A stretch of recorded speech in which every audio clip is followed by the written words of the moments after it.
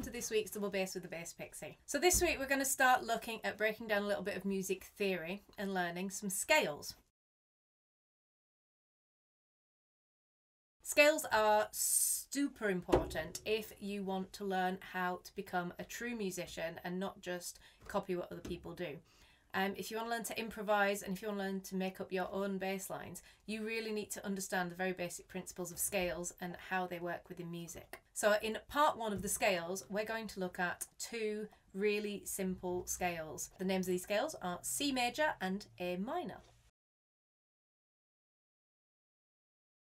So, if you've never heard of scales before, all a scale is is a sequence of notes that sound good together. That's pretty much it. Um, and a lot of music is constructed around these basic scales. A major scale is it's just kind of a happy sounding scale. So an example of a major scale sounding is like this.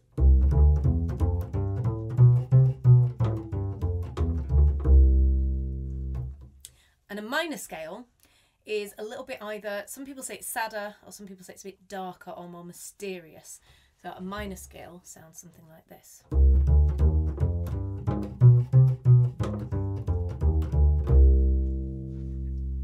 What we're going to learn today is we're going to learn C major scale and A minor scale because these two scales are the most basic scales you can learn. Um, they have no sharps or flats in them.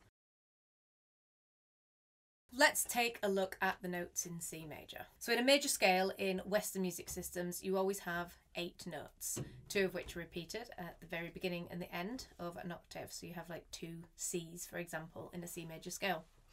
And we're going to use the names of the notes, but we're also going to use the numbers of the notes because when you're using um, scales within music, the numbers are used quite often to understand how things fit together. It's kind of where music meets maths, and it does actually really work. So we're going to learn the C major scale, and we'll learn notes 1 to 8, which come in order. So note number 1 is C and we're going to play that C on the A string. Move your hand one position down, two fingers to play that C. Follow it with the open D. Okay, and the E, one position down, so that's where your first bit is here. First finger, E, play the next note down, both fingers, so you keep your hand in the same position.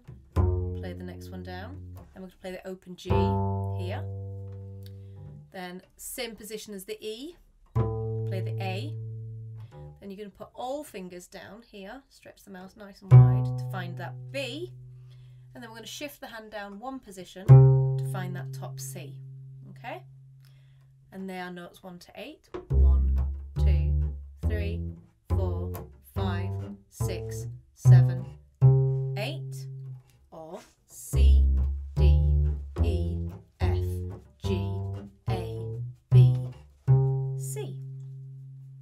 then you can come back down again.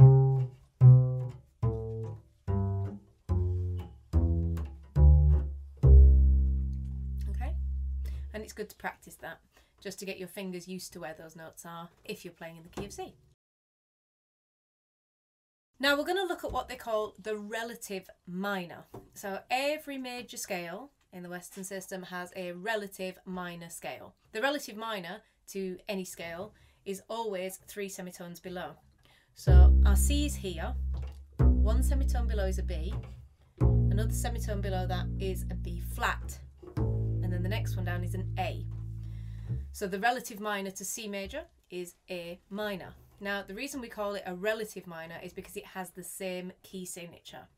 So I mentioned that C major has no sharps or flats and it's exactly the same for A natural minor.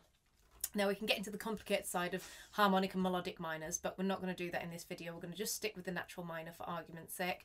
Um, and we're going to learn how a natural minor sounds and how to play it. So A, followed by B, okay, which is shifted down one first finger, followed by C. Now from here, you'll actually just see it's exactly the same pattern as the C major scale. D, position, F, open G, A. Okay? And then back down.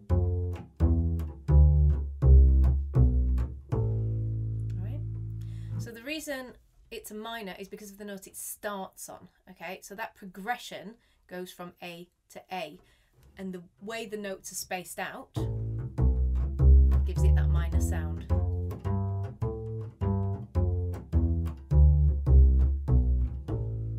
We were going to start on the A and we were going to do a major scale, it had different notes in it. So just as an example, the C isn't in the A minor scale. It doesn't do A, B, C, it goes A, B, C sharp, and that changes the sound and it changes a lot about it. Um, so that's why the relative major and the relative minor are the same because they have the same notes in them. They just start on a different note. So in the A minor, A, B, C, one, two, three, four, five, six, seven, eight. Okay, those numbers are really important when we start looking at things like triads and chords. Okay, so if I say a basic triad, and we'll just quickly look at the basic triad of C major and A minor, the basic triad covers notes 1, 3, and 5 of a scale. Okay, if you are playing a chordal instrument like piano or a guitar, you would play all of them together at the same time and make a really nice sound.